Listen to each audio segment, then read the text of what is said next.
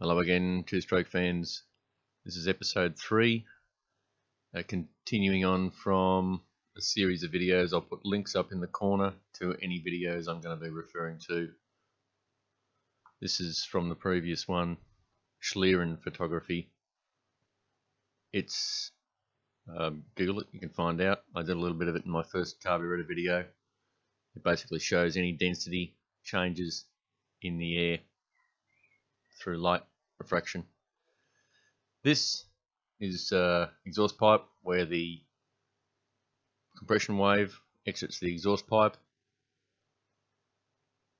Here, later, the compression wave, sonic wave, acoustic wave, out here, and here is the appearance of the gas. So here's the acoustic wave ahead of the gas coming out into the open air.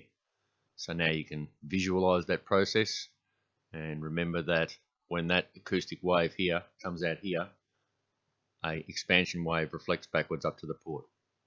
And the next thing we have to do is figure out the timing of when that comes from the port, when it goes back and what it does. So there's two waves. One comes out, compression wave, moves to the diffuser, we get our first reflection back from the diffuser in an expansion wave. That's the suction wave.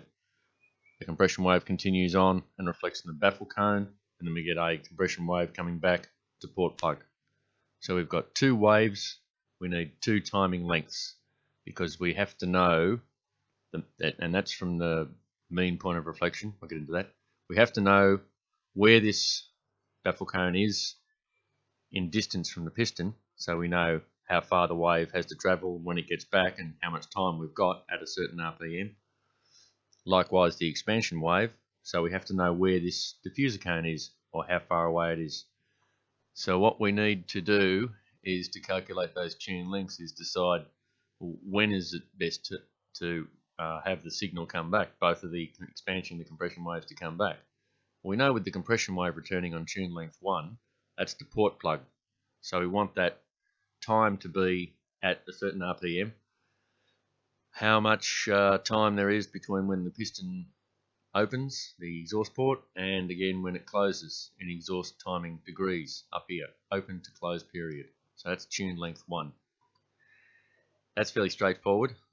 The other one is the tune length 2 which is the expansion waves re reflected back. We want to know at what point that comes back and what its function is. So when do we want that to come back? Well when the piston opens the exhaust port, the piston's going down. When the piston opens the exhaust port and we get the first wave and, and the reflected expansion wave and it comes back, the piston, uh, the, sorry, the exhaust port is open. Um, and the piston has been moving down, pushing the intake gas from the crankcase up through the transfers because the transfer's open now as well. And we've got our scavenging going on. So because there's actual force pushing it down, there's not much point in bringing a suction wave back in at that time. But when the piston starts to rise, uh, that's a different story. The gas speed slows down coming from the crankcase, and uh, we start having a problem of pushing gases out both of these holes as the piston rises.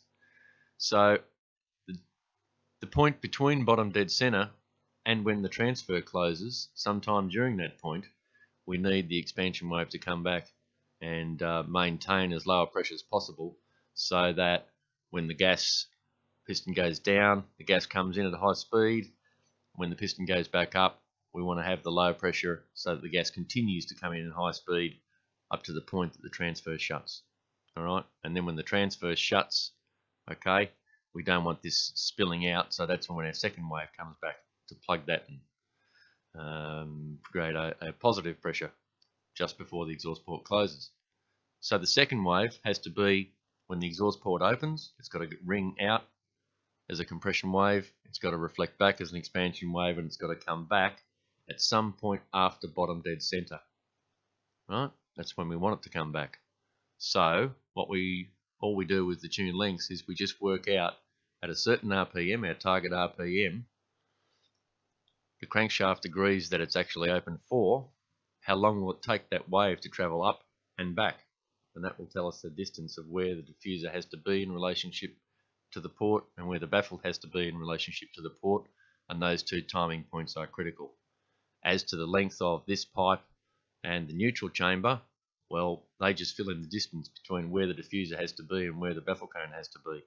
So we're going to get into the taper of the cone and the changing of the taper and how that will affect the uh, compression and expansion wave by uh, reducing the peak of the wave and making the wave broader and thus meaning the position of the wave um, will be more flexible with changes in RPM.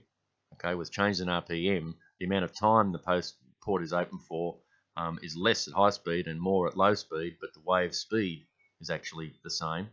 So we've got to make allowances for that, keeping in mind that engines don't just run at one speed, they actually accelerate through an RPM range, okay, as they're producing power, and very quickly. You know, you can go from 7 to uh, 11,000 RPM uh, real fast if you've got a gearbox. So what we've got to do is uh, find out the position of the waves and where the waves are going to be before our power peak, at our power peak, or after our power peak. And what we want to do is design positions so that during the during the acceleration, these waves are uh, as close to we want them up to the, the peak point. And then, like with the baffle cone, um, if the baffle cone arrives too early, port plugs too early, that's not good.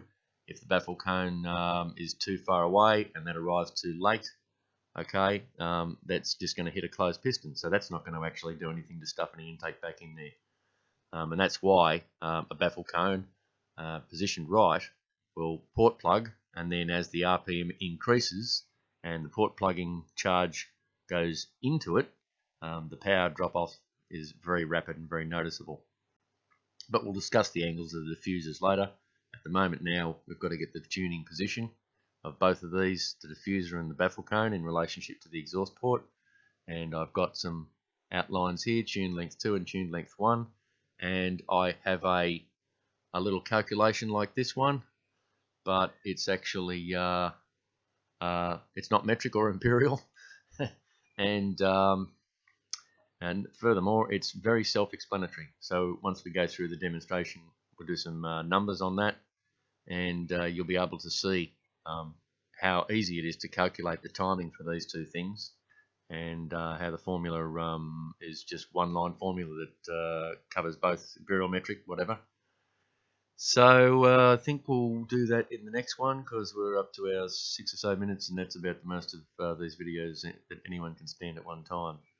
Um, so as I said, in the next one we'll get into the, the tune length calculation for both and then uh, change the RPM a little bit and see where the position of the wave is going to be so you get an idea of how that works and then we'll talk about the various tapers uh, the steeper or shallower angle tapers and how that works and then we will get into multifaceted uh, tapers numerous different tapers throughout the throughout the expansion chamber and how that is modeled and that will be in the ensuing videos but the next one we're still going to stick to the tune lengths so uh, hopefully uh, that information has been um, interesting or enlightening.